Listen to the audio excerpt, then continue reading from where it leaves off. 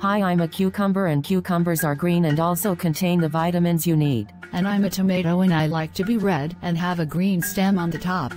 A cucumber tastes similar to a watermelon. I like purple grapes. Do you like purple? And do you like orange?